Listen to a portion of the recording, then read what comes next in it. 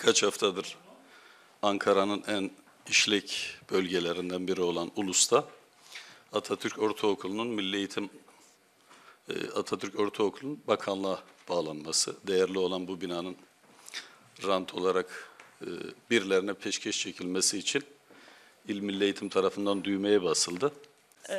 Biz buraya Atatürk Ortaokulu'ndan geliyoruz Altındağ'da. Ee, Biz e, son iki gün kala öğrendik okulumuzun kapatılacağını. Kızın velisiyim.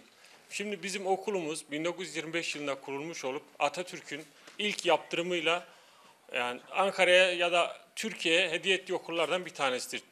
Bir nevi yani müze statüsündedir ama okulumuz şimdi şu durumda rant kapısı olmak isteniyor. Yani biz İl Milli Eğitim Müdürlüğü'ne gittiğimizde danışman bize yani Etemesut'taki arsa fiyatıyla ulustaki arsa fiyatının kıyaslamasını yaptı. Biz rant istemiyoruz, çocuklarımızın okumasını istiyoruz. Teşekkür ederim. Annemin de söylediği gibi e, okulumuz geçen sene e, tam gün yapıldı. Yine bu durumda en çok mağdur olan kişilerden birisi biz öğrencilerdik. Öğrencisiyim. Okulların kapanmasıyla birlikte 8. sınıfa geçme heyecanını yaşamak istiyordum. Ama aldığımız bu haberden dolayı heyecanımı yaşayamadan e, hemencecik heyecanımı son, e, heyecanım sona erdi. Ailelerin avukatlığını e, yapıyoruz.